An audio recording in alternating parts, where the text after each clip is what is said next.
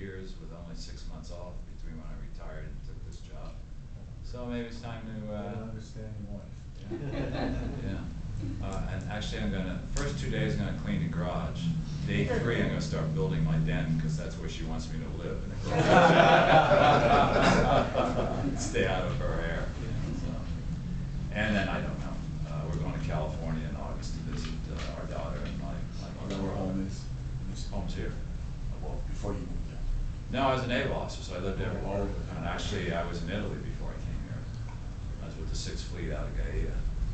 So my father was a naval officer, and actually, I was conceived here in Hawaii. Because my father was a PT boat captain.